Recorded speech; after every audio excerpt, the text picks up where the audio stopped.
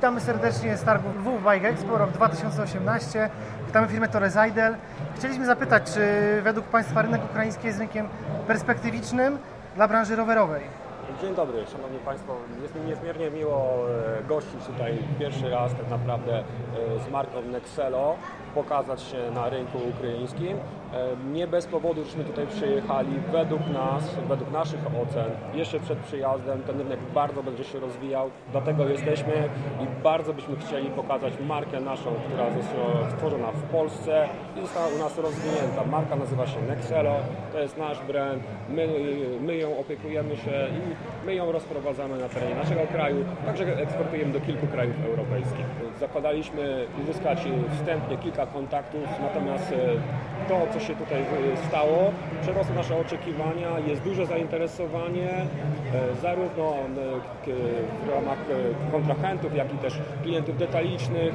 My jesteśmy bardzo zadowoleni, pokładamy duże nadzieje na rozwój naszej marki i eksport tutaj naszych towarów.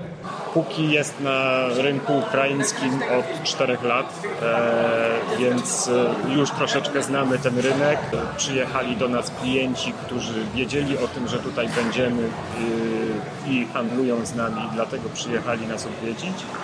Ale również przyjechali całkowicie nowi klienci, którzy wiedzieli o tym, że tu będziemy i przyjechali, żeby nas odwiedzić i porozmawiać o współpracy na przyszły sezon, więc uważam, że bardzo, bardzo pozytywnie. Chcieliśmy zapytać, czy według Państwa mm, rynek ukraiński jest rynkiem perspektywicznym dla polskiej branży rowerowej?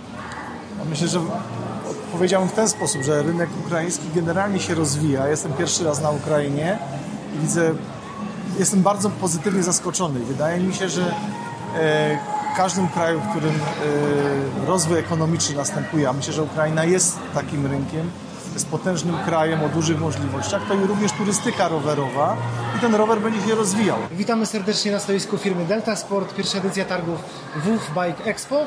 Chcieliśmy zapytać e, Pana, czy firma Delta Sport em, e, jak tak naprawdę patrzy na rynek ukraiński, czy ten rynek ukraiński wydaje się być perspektywiczny dla firm polskich?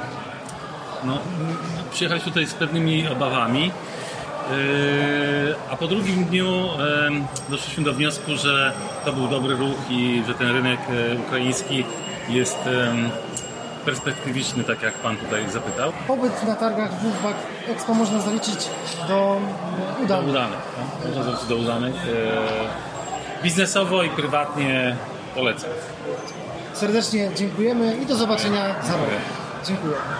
Dziękuję bardzo.